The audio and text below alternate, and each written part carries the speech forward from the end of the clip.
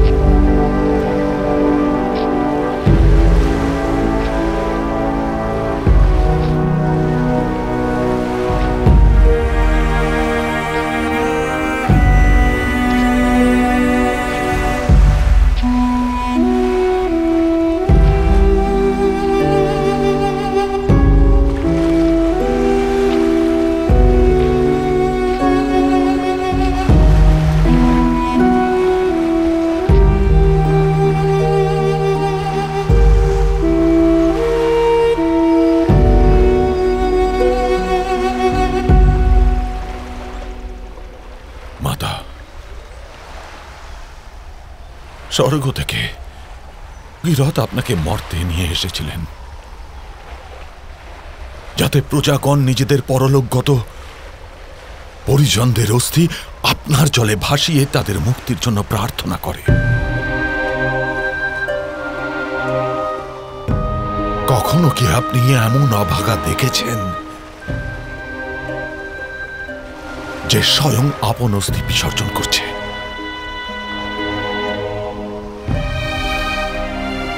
আজ আমি এসেছি মাতা।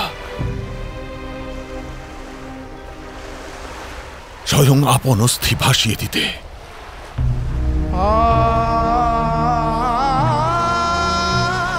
আপন মোক্ষ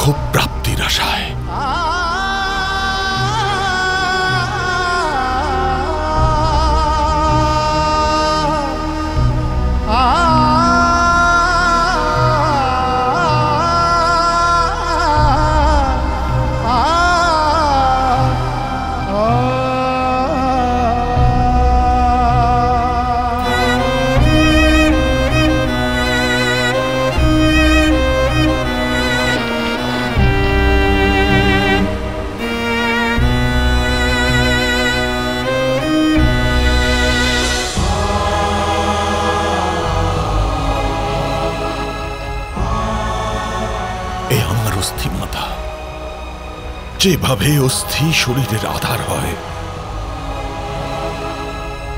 পাণ্ডুর পুত্ররা আমার জীবনের আধার ছিল। আমার সকল আশার আধার ছিল ওরা। আমার রাষ্ট্রের প্রজাদের ভবিষ্যতের আধার ছিল।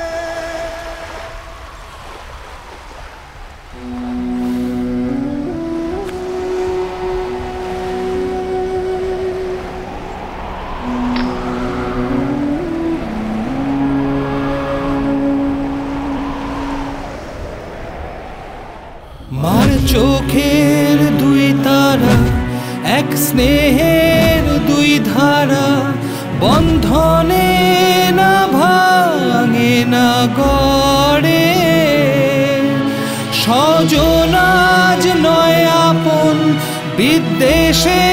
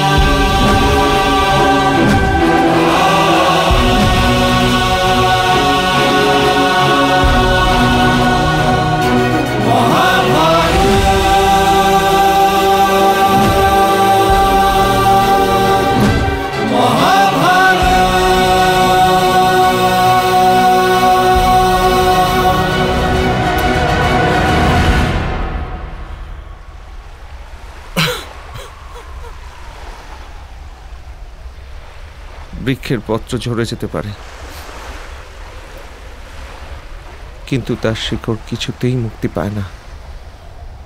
আপনি তো ধর্মবৃক্ষের শিকড় তাতশ্রী আপনার মুক্তি কীভাবে হতে পারে?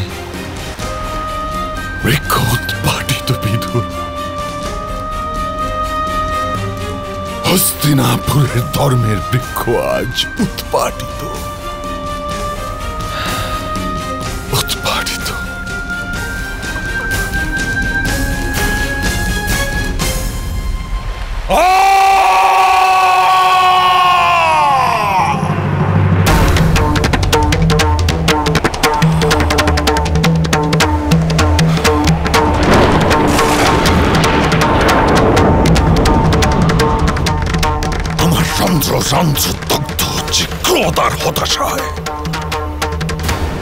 আমার মনে হচ্ছে ভগবান পরশুরামের মতো মারণাস্ত্র তুলে কুরু বংশেরই বিনাশ করে দিই। দুর্যোধন আর তার ভ্রাতাদের এমন দণ্ড দেই যেন জন্ম জন্মান্তর পর্যন্ত তারা এই পাপের জন্য প্রায়শ্চিত্ত করে।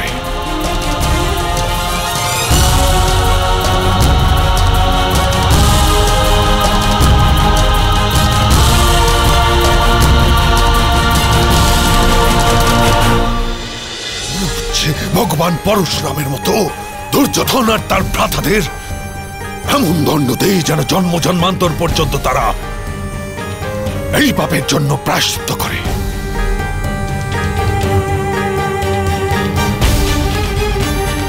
কিন্তু আমি তা কিন্তু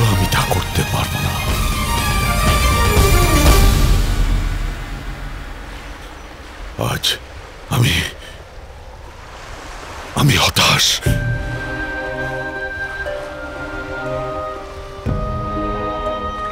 সন্তান যদি পাপীয় হয়, তবু আপন হাতে তার বিনাশ করা যায় না।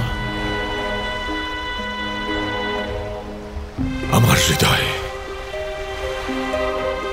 কোনো বস্তুরই কোনো আশা নেই। আমার অন্তিম সময় এবার নিশ্চয়ই নিকটে। না তাতশ্রী আমার দৃঢ় বিশ্বাস আছে, আপনার পুণ্যের ওপর, আমাদের পূর্বজদের পুণ্যের ওপর। ধর্মের বৃক্ষ কখনো উৎপাটিত হতে পারে না। মাত্র কিছু সময়ের জন্য অধর্মের কুয়াশায় হারিয়ে গেছে।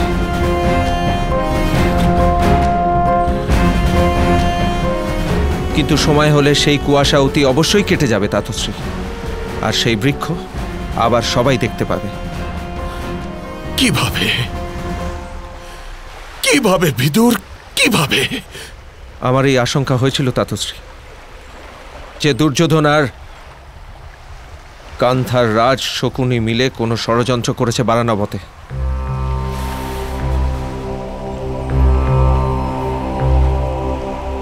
তাই আমি সেই সংবাদ যুধিষ্ঠিরকে পৌঁছে দিয়েছিলাম, তাতশ্রী।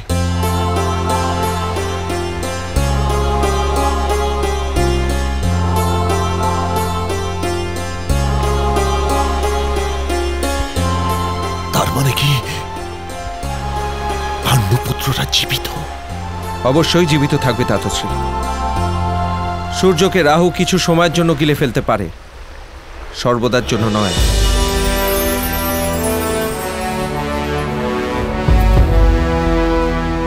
তারা অবশ্যই জীবিত আছে তাতশ্রী।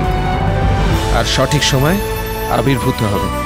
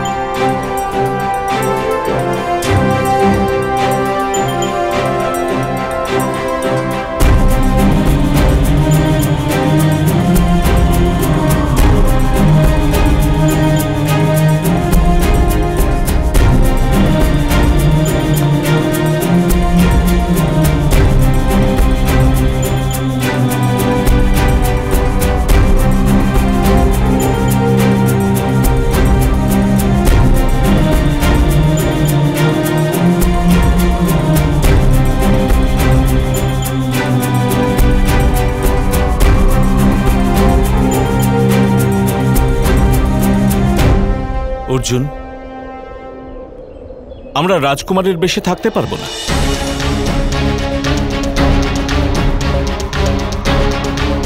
আমরা জীবিত এই সংবাদ যদি হস্তিনাপুরে পৌঁছয়, তবে নিশ্চয়ই আমাদের খোঁজ করা হবে। জ্যেষ্ঠ ভ্রাতা, আমাদের এই বস্ত্র ত্যাগ করে তপস্বী সন্ন্যাসীদের বেশ ধারণ করা উচিত।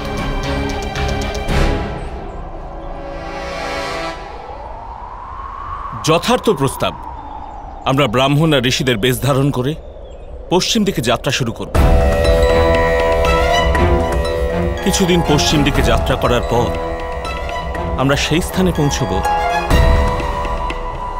যেখানে পিতাশ্রী আর মাতা মাদ্রের স্মৃতি জড়িত।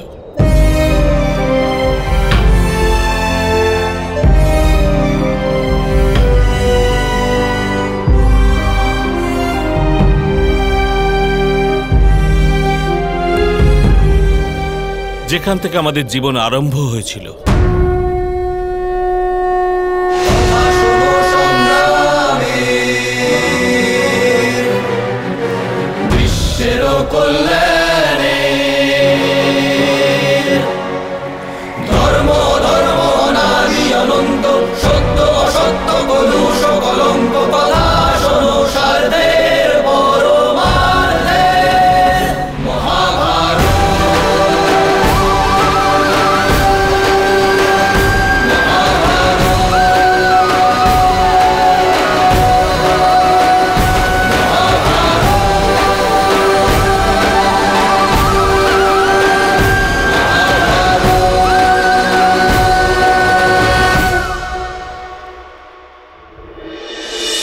কিন্তু মহারাজ ধ্রুব আপনার অদৃষ্টে পুত্রী লেখা পাঞ্চাল এমন এক শক্তির ওখানে জন্ম হতে চলেছে যা সমস্ত আর্যাবর্তের ভবিষ্যৎ বদলে দেবে। যজ্ঞের ফলে যে কন্যা জন্ম হবে সে সমগ্র আর্যাবর্তে ধর্মকে স্থাপন করার ক্ষেত্রে নিমিত্ত হবে।